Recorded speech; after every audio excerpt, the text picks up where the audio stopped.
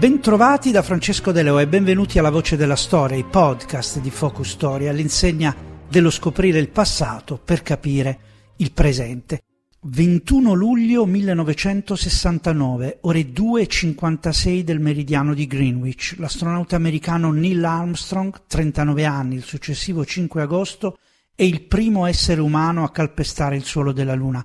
e scendendo dalla scaletta del modulo d'atterraggio LEM, allunato sei ore prima, pronuncia la storica frase è un piccolo passo per l'uomo, un gigantesco balzo per l'umanità.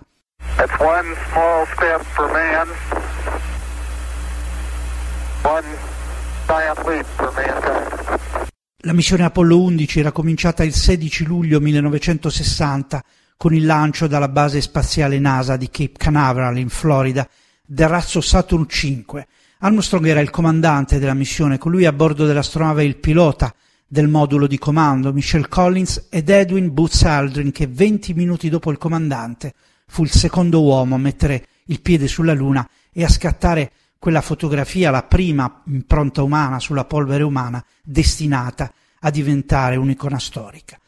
L'intera missione durò otto giorni, si concluse con l'ammaraggio della capsula Apollo nell'Oceano Pacifico, mentre in totale i due astronauti camminarono sulla Luna per due ore 31 minuti e 40 secondi. Conquistati dalla Luna, storia di un'attrazione senza tempo, e questo il suggestivo titolo di un libro scritto per Raffaello Cortina editore da Patrizia Caraveo, un'astrofisica di fama mondiale. Focus Storia alla dirigente di ricerca all'Istituto Nazionale di Astrofisica, commendatore dell'Ordine al Merito della Repubblica Italiana, ha chiesto di raccontare l'attrazione per la Luna che cattura da sempre l'immaginario collettivo, ma non solo, anche di cosa significhi vedere il nostro pianeta Terra dalla Luna e dell'importanza scientifica di quella missione passata alla storia.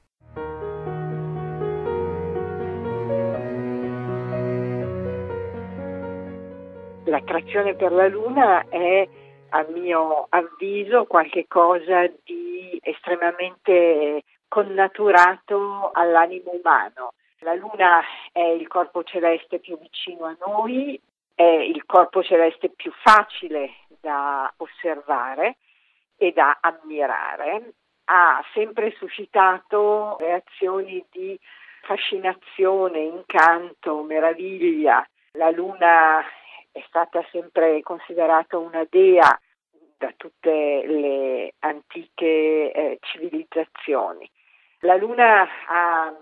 fornito all'umanità il suo primo calendario, è qualcosa che permette di rendersi conto dello scorrere del tempo. Questo ha fatto sì che nascessero credenze a proposito della luna che regolava la, diciamo, i cicli della campagna, non è affatto vero che la Luna sia decisiva per la buona riuscita di una semina o di un raccolto, semplicemente la Luna dà la tempistica e quindi per,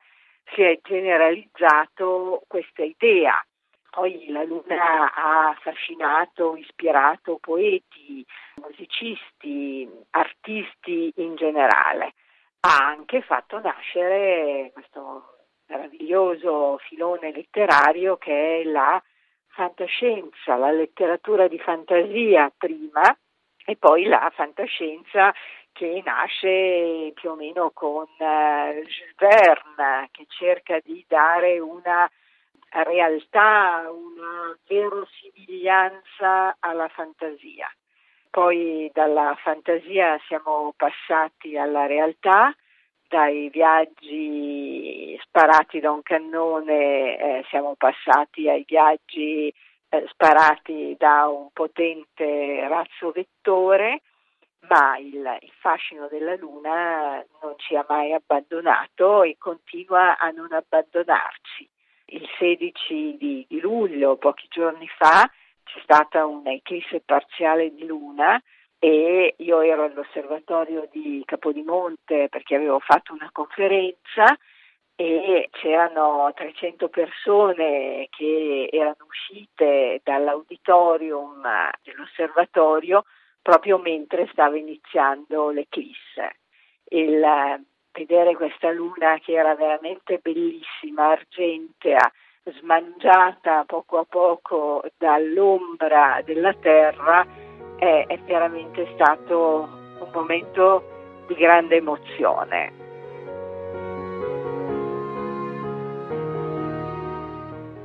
tutti gli astronauti dicono che la cosa che più li colpisce durante i viaggi spaziali è vedere la Terra. E, e, quando dico tutti intendo veramente tutti, nel senso che ha cominciato Yuri Gagarin,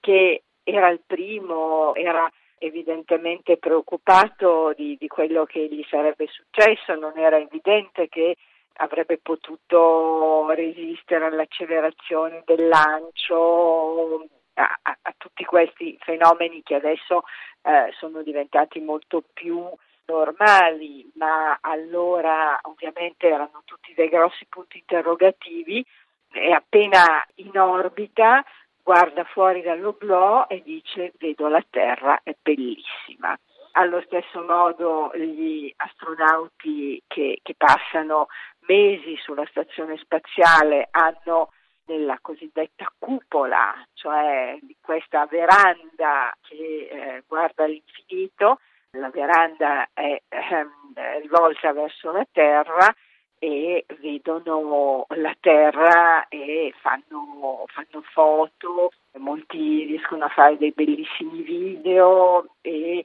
è sempre un soggetto estremamente di interesse per il pubblico. Ovviamente gli astronauti della Stazione Spaziale Internazionale sono ad appena 300 km di altezza, quindi vedono una parte della Terra.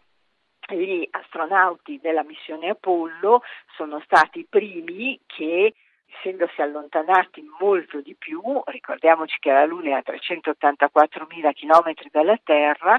vedevano la Terra nella sua interezza e eh, la vedevano stagliarsi contro il nero del cielo. Questa la chiamavano la biglia blu perché questa sfera blu e bianca brillantissima e specialmente nelle foto dove si vede la Terra insieme alla Luna si vede il grigio profondo della Luna e questo splendore bianco e blu della Terra e questo ha fatto nascere, si dice, la coscienza ecologista, la coscienza che viviamo in un pianeta bellissimo e dobbiamo cercare di non rovinarlo, di conservarlo per le future generazioni.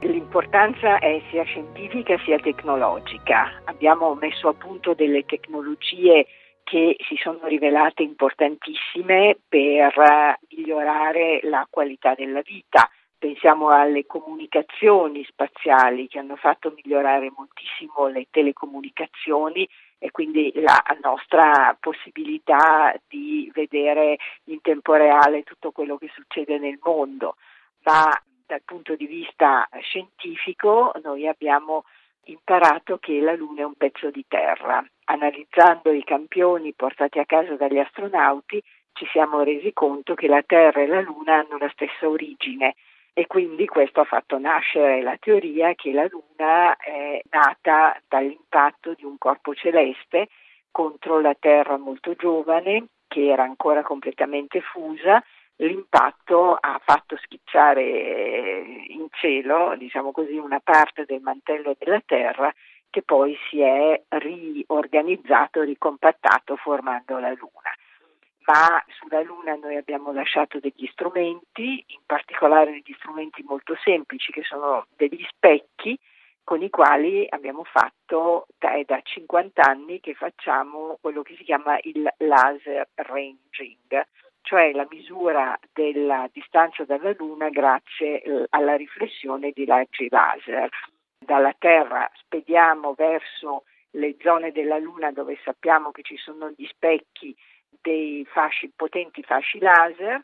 una piccola parte del fascio laser viene riflessa dallo specchio e torna indietro. Così facendo noi misuriamo la distanza Terra-Luna con una precisione di qualche centimetro e questo permette di fare degli esperimenti di relatività generale di, diciamo, molto importanti. Quindi andare sulla Luna ci ha fatto capire qualcosa di più della storia del Sistema Solare e ci ha permesso di fare dei test molto raffinati di relatività generale. Poi abbiamo cercato di capire esattamente come si sia cristallizzata la superficie della Luna, cioè la, la geologia del, del, corpo Luna,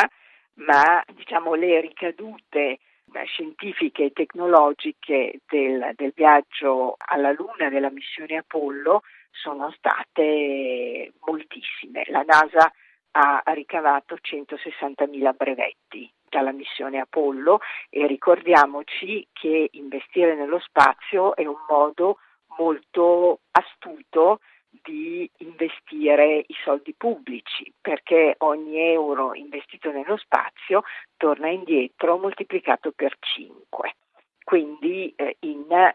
commercializzazione di prodotti che sono stati sviluppati per lo spazio quindi è un modo veramente intelligente di investire i eh, fondi pubblici per la ricerca. Abbiamo terminato, vi ricordo che potete ascoltarci su YouTube, su Spotify, su Spreaker, semplicemente cercando la voce della storia. E se vi è piaciuto il nostro podcast scrivetecelo nei commenti, cliccate su mi piace, condividetelo con i vostri amici. Ma non dimenticate per rimanere sempre aggiornati con i nostri podcast di iscrivervi al canale. In descrizione, proprio sotto il cursore, trovate tutti i canali social di Focus Storia e per chi fosse interessato anche un'offerta abbonamento alla rivista di sei mesi pensata proprio per i nostri ascoltatori del podcast. Come sempre, per scoprire il passato e capire il presente. A prestissimo!